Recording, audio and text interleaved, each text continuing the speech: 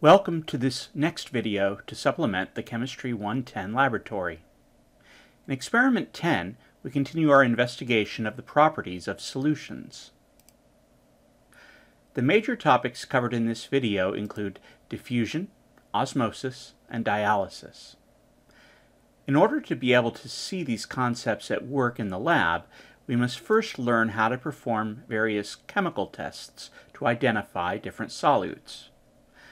From time to time, you may hear me use the more general term species to refer to solutes dissolved in the solution.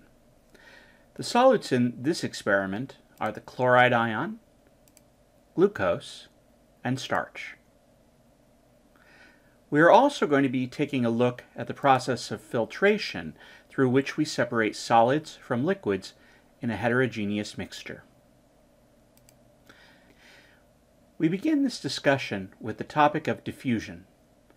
Perhaps the simplest way to describe diffusion is as the process which occurs when a substance spreads out from a region where it's concentrated into a larger region.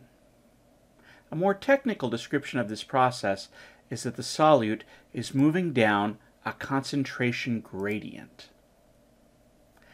This just means that if you were to monitor the concentration of the solute in some region from when diffusion first begins until some later point in time, the concentration of the solute in that region decreases as the particles which make up the solute spread out over an ever larger volume.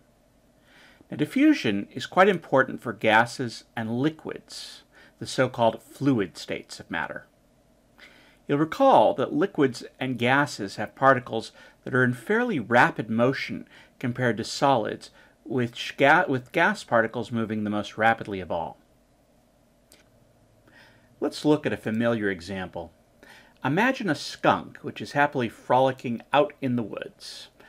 Suddenly, the skunk is surprised by an approaching coyote. In response, the skunk sprays the coyote with a mixture of chemicals which contains a class of chemicals called thiols. Now we'll be studying these chemicals in a later chapter. For now, it suffices to say that many thiols have an intensely unpleasant smell.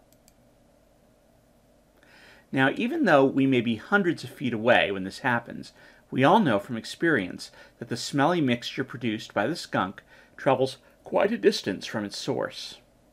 Now, our ability to detect the presence of the skunk is a result of the diffusion of the thiols from a region of high concentration to a wider volume over time.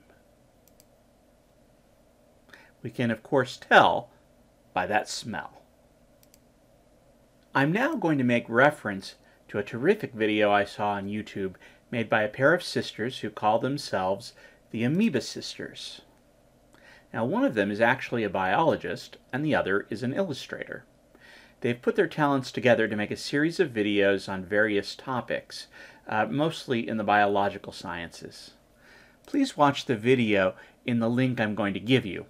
You don't necessarily need to watch the entire video, but the first four minutes are particularly helpful.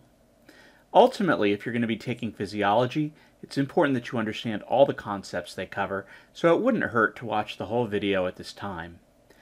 I want you to focus on the example of the methylene blue in the fish aquarium, as it applies quite a bit to today's experiment.